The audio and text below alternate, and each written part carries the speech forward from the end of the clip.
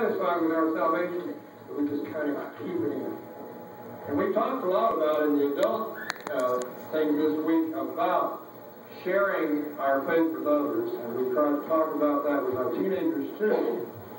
That not only must we have it ourselves, but we must pass it on.